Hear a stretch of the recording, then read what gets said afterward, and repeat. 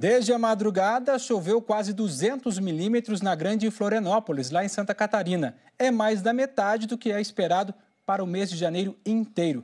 Essa madrugada, essa chuvarada, perdão, acabou fazendo uma vítima, um muro desabou e matou uma menina de 12 anos. Eu vou chamar agora a repórter Talita Rosa, que está em São José, que fica pertinho ali de Florianópolis, para contar que tragédia, hein? Pelo amor de Deus.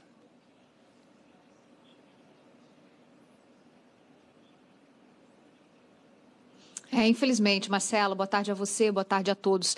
As equipes de socorro foram chamadas bem cedinho, antes das 7 horas da manhã, quando esse muro desabou. Era o muro de uma casa de contenção que acabou caindo sobre um imóvel de madeira.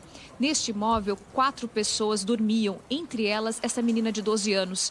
A Andressa da Silva morava no oeste do estado, estava passando férias na casa da avó e já iria embora no sábado. Infelizmente, ela não resistiu, a cama dela foi atingida.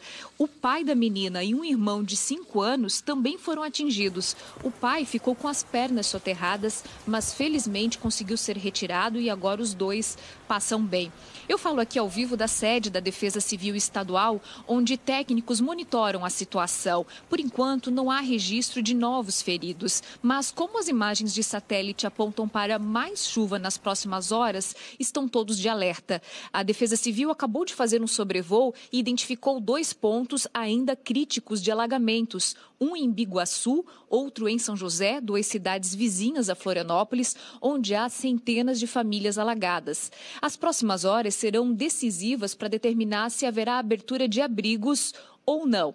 A gente continua monitorando essa situação, principalmente o alerta aos motoristas, porque há pico de maré alta aí por volta das seis da tarde. Isso deve bloquear ruas e rodovias, dificultando a volta para casa aqui na região da Grande Florianópolis. Marcelo.